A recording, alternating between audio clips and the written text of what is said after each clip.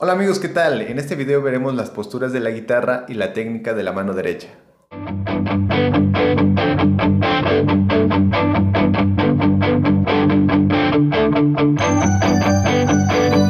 La postura de la guitarra tiene que ser lo más natural posible a la posición en que nos sentamos.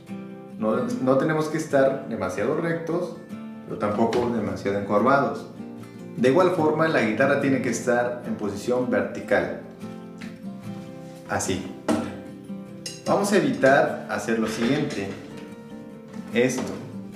Es muy normal que cuando aprendemos a tocar tendemos a inclinar la guitarra para poder ver las posiciones que hacemos, pero esto nos genera una mala técnica de este lado.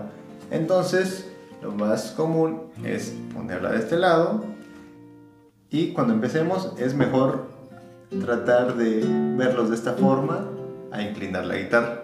Con el tiempo nos acostumbraremos a esta postura. Esta es una postura relajada para trabajar acordes, ritmos y progresiones. En este caso podría ser un círculo.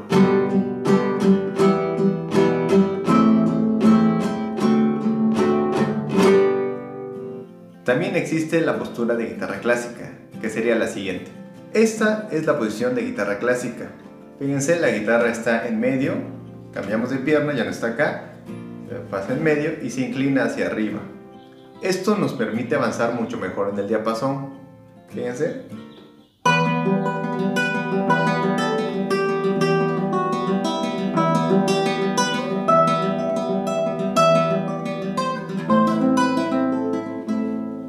¿Se dan cuenta? Aunque nada es absoluto y pueden tocar acordes en esta posición.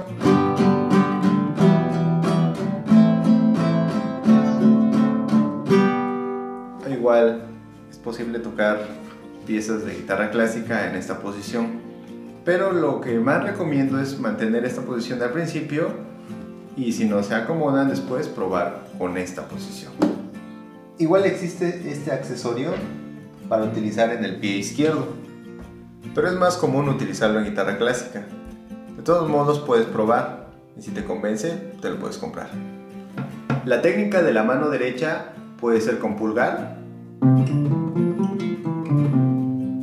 puede ser con dedo índice y dedo medio, o puede ser con púa.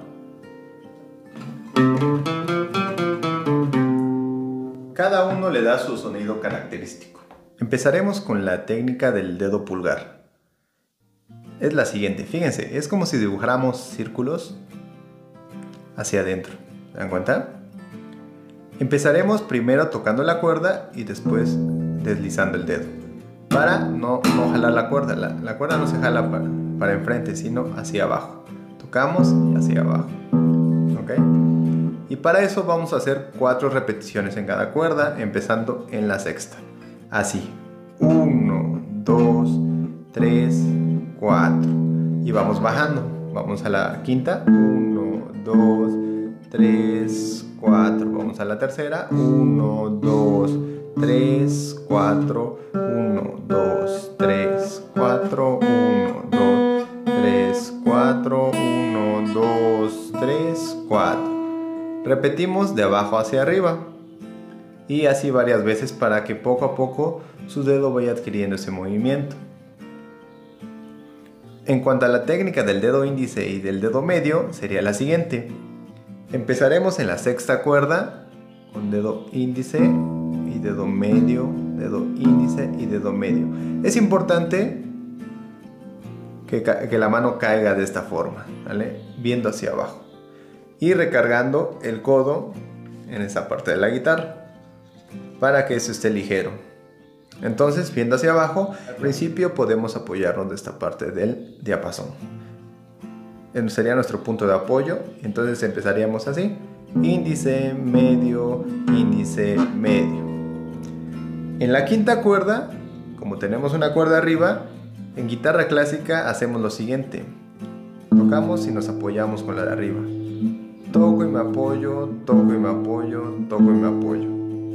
Igual, en guitarra popular se puede ocupar índice, medio, índice, medio. Eso nos da seguridad a la hora de tocar y nos da un poquito más de potencia. Índice, medio, siempre apoyándonos con la cuerda de arriba, índice medio, índice medio, índice medio, índice medio. ¿Se dan cuenta? Me apoyo con la de arriba. Toco y me apoyo, toco y me apoyo. Después voy a repetir 4 y regreso a la sexta cuerda.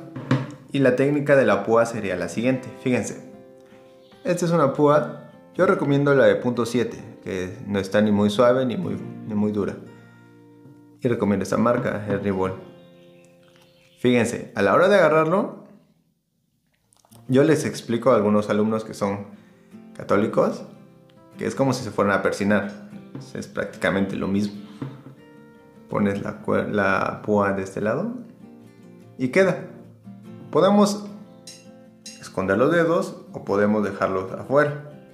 Yo normalmente recomiendo esto para que eso esté relajado. Esto no intervenga con la función de la púa. Y antes de empezar a tocar, vamos a hacer un pequeño ejercicio. Lo vamos a tomar de esta manera Traten de no dejar mucha púa, pero tampoco de agarrar poquita. ¿Sale? Entonces lo vamos a dejar al punto medio, así. Y vamos a dibujar círculos. Adentro y afuera. Acostúmbrense a agarrar la púa. Al principio va a ser un poquito incómodo, pero con el tiempo se van a acostumbrar.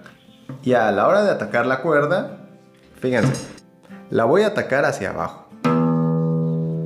Primero vamos a empezar por los golpes hacia abajo para acostumbrarnos a tocar la púa. 1, 2, 3, 4. Lo mismo abajo. 1, 2, 3, 4.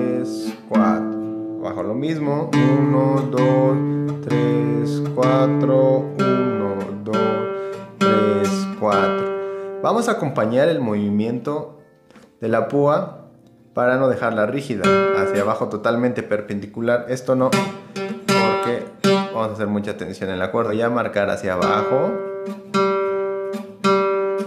y la mano hace este movimiento. Cuando toquemos púa alterna, vamos a hacer lo siguiente. Vamos a acompañar el movimiento hacia abajo y vamos a acompañar el movimiento hacia arriba. Fíjense, se mueve de esta forma. Y bien amigos, con eso finalizamos el video de hoy.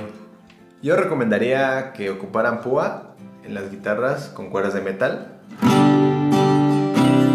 para que suene mejor y que ocuparan el dedo índice y el dedo medio en guitarras con cuerdas de nylon como la guitarra clásica.